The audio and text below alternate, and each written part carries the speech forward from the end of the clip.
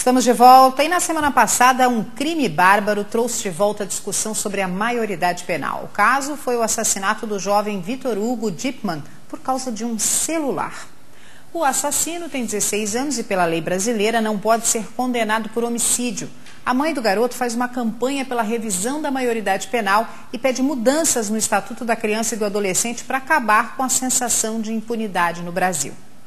Em São Paulo, uma pesquisa do Datafolha revelou que 93% dos paulistanos são a favor da redução da maioridade penal para que se possa punir o adolescente que cometa um crime. Mas e aqui na região?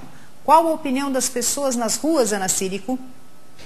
Então, Roberta, aqui pelas ruas de Balneário Camboriú, foi unânime, hein? Todo mundo concorda que tem que diminuir a maioridade penal. E a maioria das pessoas compara muito com o voto.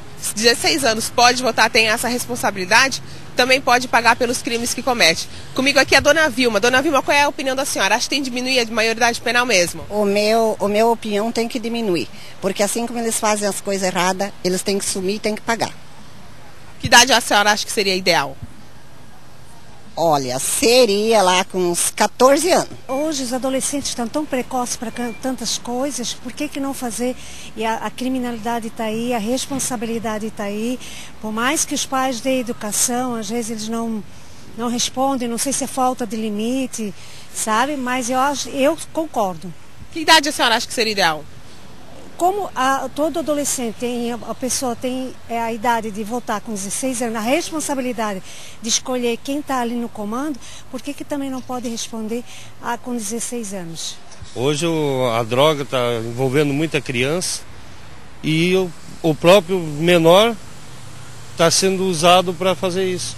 Você pode andar aqui na avenida mesmo, você vai ver durante a noite muita gente de menor vendendo droga na Avenida do Estado. O senhor acha que idade seria ideal? Olha, até os 16 anos já devia ter o compromisso e pagar pelo que fez. Eu acho que tem que diminuir mesmo, porque do jeito que tá, a tendência é só piorar, não melhorar. Que idade você acha que seria o ideal? A partir dos 13 anos por aí. E você, concorda também? Com ela. Também acho que deveria diminuir, porque tá assim cada vez aumentando mais, aí por, por eles terem menor idade fica impune, né? Eu acho que tem que diminuir porque a criminalidade está muito alta e o de menor pode voltar porque não pode é, pagar pelo que faz. Que nós estamos assim nas mãos dos menores. Eles estão entrando em tudo que é lugar, fazendo de tudo, e eles estão se achando porque são menores. Com 15, 16 anos pode votar, pode assumir a responsabilidade. Né? Você acha que está feia mesmo a situação? Está feio, cada vez mais crítica, né? A gente fica preso e os bandidos soltos. Eu sou a favor, sim. Eu acho que existe muita impunidade. Eles sabem que não vai acontecer nada. Se né, acontecesse alguma coisa, eu acho que evitaria muitos assassinatos, muita coisa ruim. Eu sou a favor da, da diminuição da idade, sim. Que idade você acha que seria o ideal? 16. Assim como vota com 16, tem que ter responsabilidade para assumir o que faz com 16 também. Será? Políticos e especialistas têm manifestado opiniões diversas sobre o assunto. Já existem projetos de lei pedindo o aumento da pena máxima de 3 para 8 anos entre os adolescentes. Há também propostas de igualar um jovem de 16 anos a um adulto na hora de responder por crimes. Bom, para falar sobre esse assunto, nós convidamos o mestre em Ciências Jurídicas e professor do curso de Direito da Univale, doutor Fabiano Oldoni. Boa tarde, obrigada pela presença, seja bem-vindo. Boa tarde, Roberto. Esse realmente é um assunto polêmico. Como jurista, qual saída o senhor vê para o problema? Olha, eu acho que essa é uma discussão que a gente não pode levar para as ruas, porque a gente não pode resolver essa questão com uh, o coração apenas. Logicamente que a, os pais e mães né, de vítimas de crimes praticados por adolescentes querem uma, uma punição muito mais severa. Mas esse é um fato que tu tens que trabalhar com a razão. E qual é a razão disso? É, nós não temos hoje nenhum estudo sério que demonstre que a redução da maioridade penal irá refletir na redução da criminalidade, por parte dos adolescentes. Até Não porque, né, existe. né, doutor Fabiano, o que a gente percebe é que o crime tem alavancado os adolescentes e até crianças para servirem de intermediário, justamente porque eles estão isentos da punição. E se a gente baixar para 16 anos, o crime vai começar a chamar crianças com 14. Se a gente chamar, né, baixar para 14, vão chamar com 12. Quer dizer, esse negócio não tem fim. Não, não tem fim. E isso é um, é um movimento que, se for levado adiante, daqui a 10 anos nós estamos baixando para 14 anos e para uma pena de morte, prisão perpétua, é dois passos. Então, é, essa, essa, essa ideia que a população tem de que se o, se o jovem tem direito, ele tem que ter responsabilidade, é uma ideia extremamente equivocada. Porque o Estado, ele, ele vai conceder o direito ao cidadão, mas quando ele retira o direito do cidadão, ah, o pensamento tem que ser diferente. Ou seja, o Estado não tem a mesma liberdade de retirar os direitos como tem que conceder. Então, não é porque ele vota que ele tem que ser penalizado criminalmente. É, o que nós temos de estudos sérios mesmo, comprovando que 95% dos crimes ou dos atos ilícitos praticados por jovens, por adolescentes, são atos ilícitos é, sem gravidade. Ou seja, apenas 5% podem ser considerados como crimes hediondos.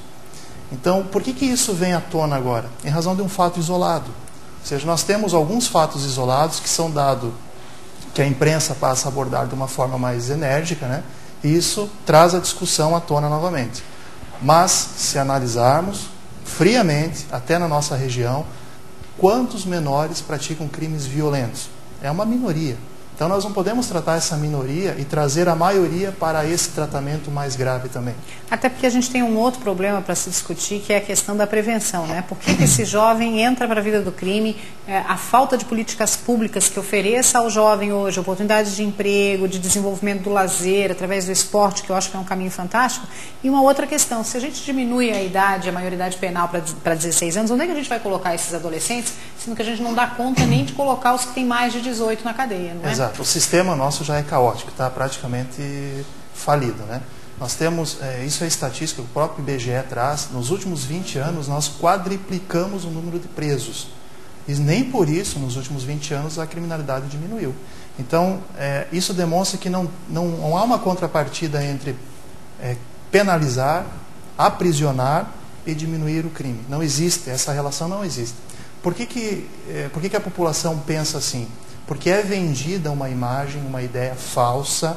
É, eu até brinco em sala de aula, falo que isso é um estelionato jurídico, é, a venda de que o direito penal vai resolver a questão da segurança. Isso não faz parte, o direito penal não é eficiente para isso, ele não nasceu para isso, ele jamais vai resolver a questão da segurança pública. Na verdade, ele só resolve é o que social. já aconteceu, né? ele, só, ele só vai julgar o que já aconteceu. Ele vai né? trabalhar no efeito. A causa está lá atrás. E a causa não depende do judiciário e da polícia. A causa depende do governo, do executivo nas questões sociais. Então, ao invés de darmos uma, uma restrição de liberdade integral para o menor, vamos dar uma escola integral. É, é um ponto de vista diferente. Acho que tu atuando lá atrás, de forma diferente, você vai ter um reflexo. Só que isso é a longo prazo.